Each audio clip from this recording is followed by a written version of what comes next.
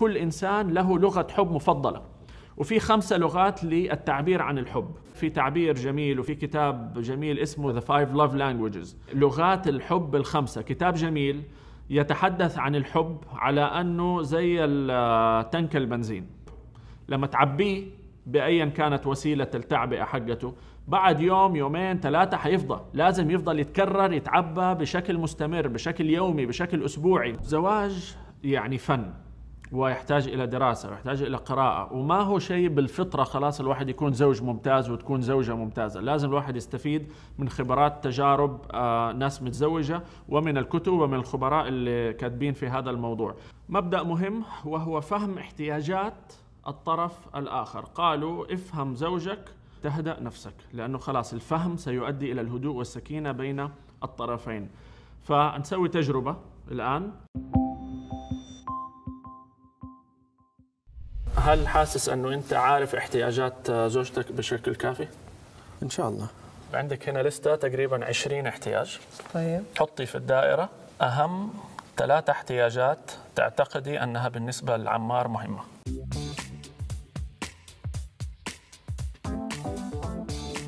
أصل هذه احتياجاته هو. واثقة إن شاء الله؟ لا. لا. احتياجاتك؟ اللي هي اختارتها. أوكي. فهي اختارت احترام مصداقية وثقة. فأنت أم، نقيت الاحترام. اخترت احترام فأول واحدة تمام. اختار الأمانة. آه okay. واختار شيء أنت استبعدتيه. ما توقعت من ال top يعني حاطه. حسبت انه أنا عارفه مرة كويس بس اتعلمت أشياء.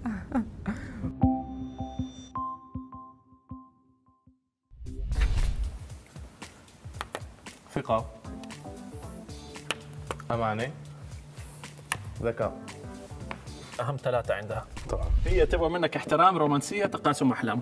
okay. أنت متوقع كنت أنها تبغى منك ثقة وأمانة وذكاء. ذكاء okay. طلع الذكاء مش من أولوياتها يعني آه، ولا الأمانة ولا الثقة. ليش هيك؟ كم سنة صار لكم متزوجين؟ تسعة شهور تسعة أشهر. طازة. بالضبط. طيب كويس. حلو. هل عمرك سألتها directly كذا بشكل مباشر إيش تبغي مني؟ لا ما صار الحديث. ما صار. لا. ولا العكس. كل إنسان له لغة حب مفضلة. وفي خمسة لغات للتعبير عن الحب. وموجود application جميل جدا. اقترح عليكم ما تجيبوه. أنا جبته وفادني جدا مع رولا زوجتي لأنه وضح بعض الأمور اللي الواحد ما كان فاهمها بصراحة يعني. فالتطبيق اسمه The Five Love Languages. وبالتالي يصبح التواصل بينكما كل واحد بلغة الآخر. لا يوجد زواج بدون ثقة. ولا توجد ثقة بدون مصارحة وتكون هذه المصارحة بشكل شهري أو أو ربع سنوي أو على الأقل سنوي أو مرة في العمر. في أزواج ما ما عمرهم تكلموا من أول الزواج ما عمرهم صارحوا بعض كل واحد كاتم اللي في نفسه في نفسه.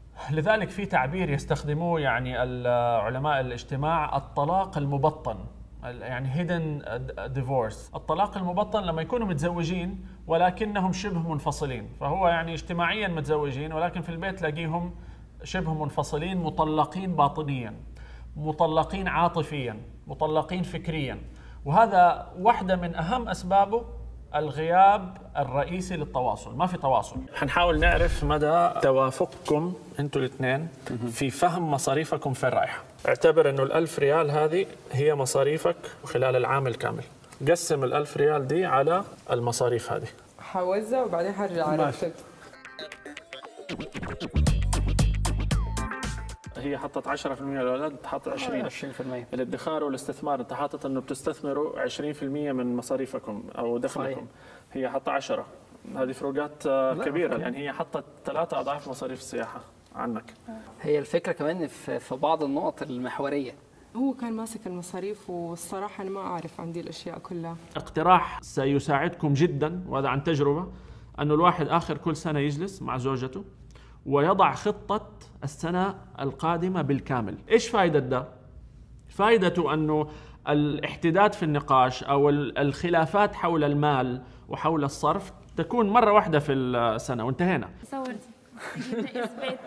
تمام قالوا أن الزواج الناجح لا ينبني على حبك لمميزات الطرف الآخر ولكن على تقبلك لعيوبه. سهل جدا إنك تحب المميزات. ما تنبني العلاقة على على هذا فقط تنبني على أنه حيكون عندها عيوب لأنه الكمال لله وأنه الإنسان يصل إلى مرحلة خلاص أنا متقبلك بعيوبك. وهي نفس الشيء أنا متقبلك بعيوبك خلاص انتهينا. وبالتالي يحصل هذا ال ال ال ال الاندماج وال الشيء اللي أنا حاليا ماني عارف أعبر عنه بكلمة. كده. كده. ماليزيا من 20 سنة تقريبا ارتفع فيها معدلات الطلاق وصلت إلى 33% يعني ثلث اللي يتزوجوا يتطلقوا. نسبة قريبة جدا لمعدلات الطلاق اليوم في العالم العربي. والعالم العربي لسه أكبر في بعض البلاد وصلت إلى 50% معدلات الطلاق. شيء مخيف. الشاهد إيش سوت ماليزيا؟ سووا نظام جميل أنه أي اثنين حيتزوجوا لازم ياخذوا رخصة زواج. رخصة. ورخصة الزواج هذه علشان ياخذوها لازم يحصلوا على تدريب للزواج. يعني زي ما الواحد يبغى يطلع رخصة سواقة لازم يروح تدريب. بعد الحصول على الشهادة أوكي أنتوا تدربتوا ممكن تتزوجوا. من أول ما بدأوا يطبقوا هذا النظام معدلات الطلاق بدأت آه، يعني تقل تقل تقل. اليوم ماليزيا من أقل بلاد العالم في معدلات الطلاق. من 33% اليوم 8% فقط.